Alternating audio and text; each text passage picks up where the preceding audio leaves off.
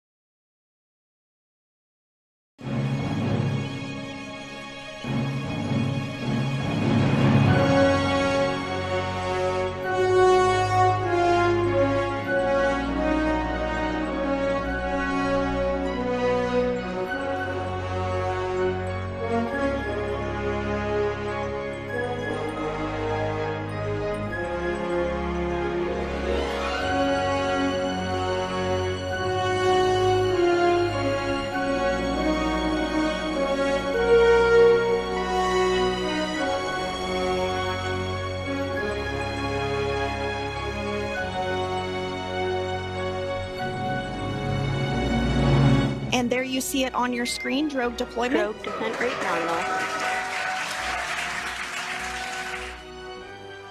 We have visual on four healthy mains. So we see a great view there of the reefing on those parachutes, and as those parachutes, those main parachutes begin to inflate fully. And we're going to stand by for splashdown located um, off the coast of Tallahassee, Florida.